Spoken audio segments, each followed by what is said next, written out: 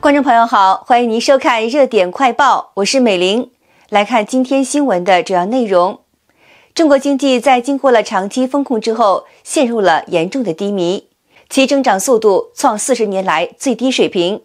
而明年又是中国二十大后的所谓开局之年，在此背景之下，为期两天的中共中央经济工作会议在北京召开。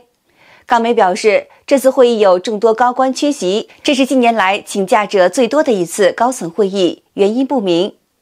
中共中央经济工作会议于十二月十五号到十六号在北京举行。央视新闻联播中显示，主席台上坐着现任七常委，包括习近平、李强、赵乐际、王沪宁、蔡奇、丁薛祥、李希，以及常务副总理韩正。总理李克强虽然出席会议并且讲话，但央视报道选择他没出席的那一场。中央经济工作会议是中国最高级别的经济工作会议，每年十二月举行。从过去的情况来看，会议一般持续三天，但这次会期缩短，只开了两天。有中国经济学者认为，上周召开的中央经济工作会议是近十年来最重要的一次经济工作会议。而这次会议中有众多高官缺席，引发了关注。十二月二十号，香港《明报》撰文表示，除了中共副总理胡春华刚外访回来，尚在隔离期，以及生态环境部长黄润秋外访以外，还有很多高官未现身。如果不是央视画面刻意隐去了他们的形象的话，这一次就是近年来请假者最多的一次高层会议。文中表示，在二十四名政治局委员当中，军委副主席张又侠和卫东未现身影。如果说经济工作会议与军方似乎关系不大，但国务委员兼防长魏凤和、军委委员刘振立、苗华均有出席。此外，已经卸任中共党职的全国人大副委员长王晨、国家监委主任杨晓渡、军委副主席许其亮、国务委员赵克志均未出席。人大副委员长无意出席。但刘鹤、孙春兰却在座，现任中央书记处书记刘金国、最高法院院长周强、最高检检察长张军也未露面，正部级官员缺席更多。据不完全统计，国务院常务副秘书长丁学东、中组部常务副部长江信志、中联部部长刘建超、国台办主任刘杰一、中央编制主任李小新、民政部长唐登杰、农业农村部长唐仁健。国家卫健委主任马晓伟、应急管理部长王祥喜等人都未在座。文章中提到，如果说这些部门或与经济无关，那自然资源部长王广华、央行行长易网、银保监主席刘树清、中证监主席易会满、审计长侯凯、市场监管总局局长罗文、国务院发展研究中心主任陆浩等，总不该缺席经济工作会议吧。文章认为，绝大部分地方党政首脑都进京开会，包括香港中联办主任贺惠宁、驻港公安公署署长郑燕雄都有出席。身在北京的中央政府官员却未到会场，实在是说不过去。此外，缺席高官分布广泛，原因不明。但考虑到大陆目前正在经历一波波的疫情感染高峰，不排除是染疫或其他的身体原因。有推特网友评论表示。中共领导班子已不需要猜测他们的内斗，光从这次会议上就可以看出支离破碎、各怀鬼胎。明年两会后，七人帮很难开展工作，能力先不说，能维持住局面就不错了。他们倚仗习上位，但习又成了他们工作的负资产，结局乱成一锅粥。原因保监会纪检监察组组长李欣然重回中纪委出任秘书长职务。七零后的李欣然曾是王岐山的中纪委旧部，有“打虎猛将”之称，参与查办过薄熙来以及孙政才的案件。据澎湃新闻网十二月十九号的报道表示，中央纪委国家监委网站更新领导机构，显示国家监察委员会委员李欣然已经出任中央纪委常委、秘书长、国家监委委员、中央纪委国家监委办公厅主任、二级副总监察官。另外，赵世勇现已担任中央纪委常委、国家监委委员、中央纪委国家监委组织部部长、二级副总监察官。中共二十大前夕，纪检系统人事先行大调整。此前担任中央纪委常委、国家监委委员、中央纪委国家监委组织部部长的林基，于今年的十月履新商务部副部长兼国际贸易谈判副代表。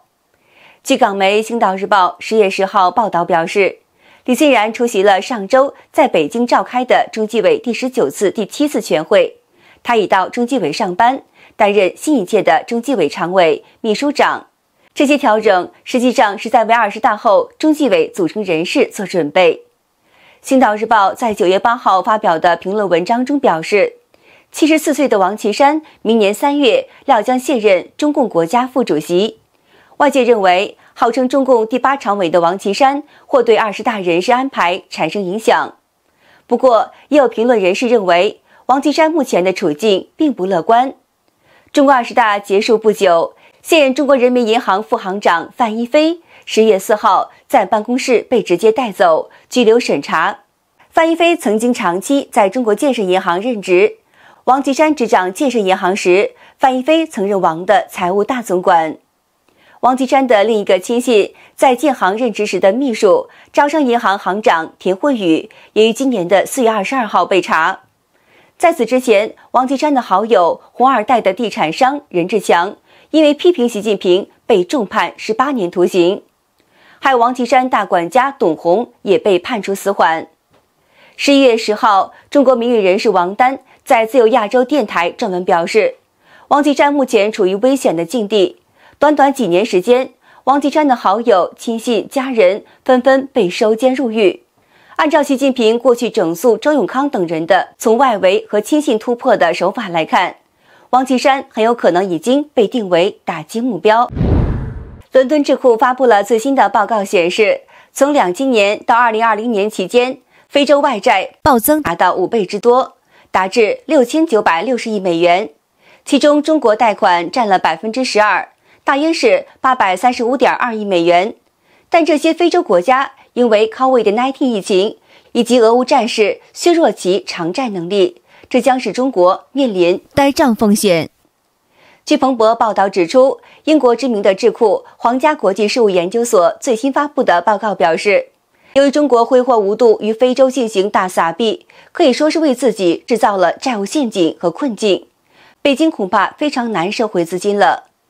同时，又与发展中国家保持友好的形象。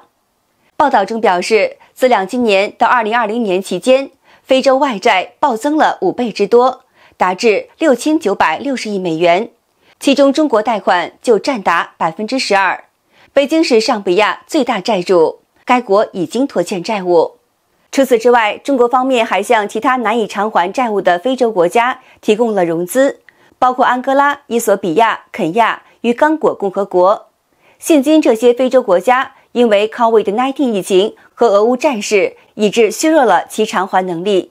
根据世界银行与国际货币基金组织的标准，非洲大陆正在陷入债务违约的风险当中。在五十四个国家中，有二十二个国家面临了债务困境，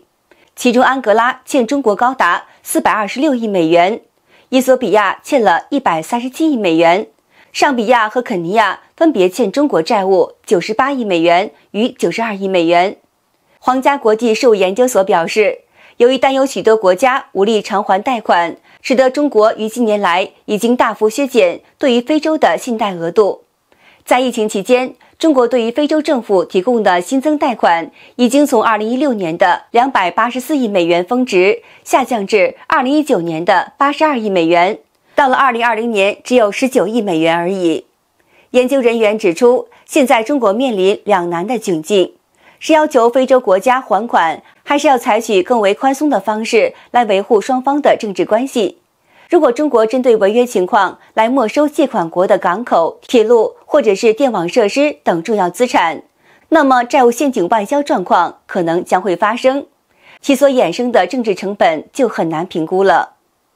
中国共产党于国际战线上推出了一带一路计划。而让经济体制脆弱的开发中国家陷入了残酷的债务陷阱。涉嫌中国问题的美国知名学者裴米欣与媒体撰文分析指出，北京在过去十五年对贫穷国家提供高达数千亿美元，现今这些穷国面临了资本外逃、缺粮，这是越来越难以偿还中国贷款，也让中共国已经掉入自己挖的债务陷阱。但眼下也没什么好选择，能够从自己挖的坑中爬出来。据联合国的数据指出，在全球最贫穷的国家当中，有超过一半陷入了债务困境或者处于高风险当中。从今年全国的偿债状况观察，世界银行的数据显示，全球最贫穷国家于今年面临了对官方与民间债权人合计达到了三百五十亿美元的债务履行支付。其中有百分之四十必须付给中国，如果以此推算，中国今年就必须偿还中国的债务，高达了一百四十亿美元。这还只是表面上看得到的而已，但积欠中国的隐性债务相当难估。在财政艰困之下，这四千一百亿元的债务很有可能会成为中国呆账。现今，斯里兰卡陷入了独立后七十年来最严重的经济崩溃。现于七月五号宣布破产，而且国内通货膨胀率已经达到了百分之五十七，同时外汇存底已然耗尽，还欠下高达五百一十亿美元的巨额债务。人口只有两千两百万的岛国斯里兰卡，